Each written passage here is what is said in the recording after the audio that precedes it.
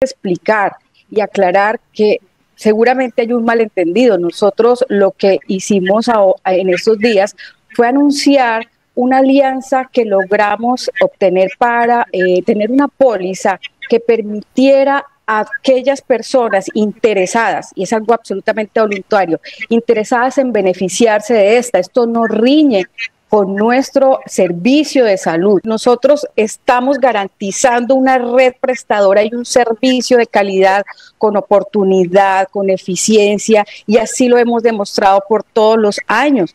Nosotros estamos cumpliendo la ley, estamos asegurando que los más de 65 mil usuarios de los servicios de Ecopetrol lo reciban así lo hemos cumplido y, mira, estamos en más de 1.863 municipios en el país, Yanit, y nosotros buscamos de cualquier manera encontrar que la red se amplíe, pero somos los responsables como Ecopetrol y no lo hemos dejado de hacer.